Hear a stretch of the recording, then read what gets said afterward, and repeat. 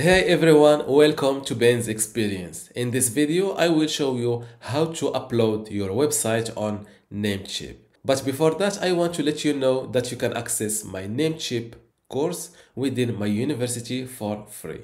Inside this Namecheap course, you will learn how to get started with your Namecheap shared hosting, how to how to manage your website and email account, and also how to optimize your website performance in Namecheap. Plus, you'll get access to my other available courses and also the upcoming ones.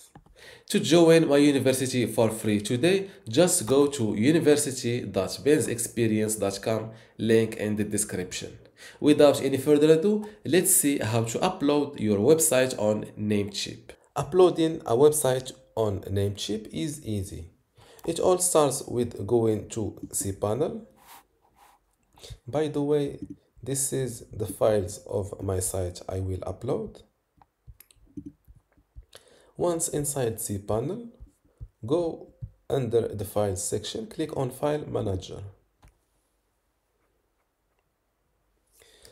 Make sure to upload your site into this folder called public HTML. HTML. Double click on it and click on Upload. Now select your file. Since I can't select multiple files, I will go back to my computer and compress this, these two files into a one compressed file like that. Now I will go back to my browser and select uh, to not confuse you I will go back to select file then upload my archive dot my compressed file.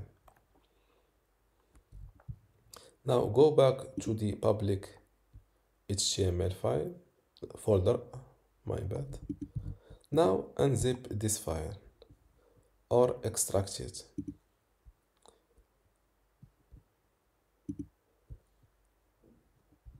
My extraction is completed.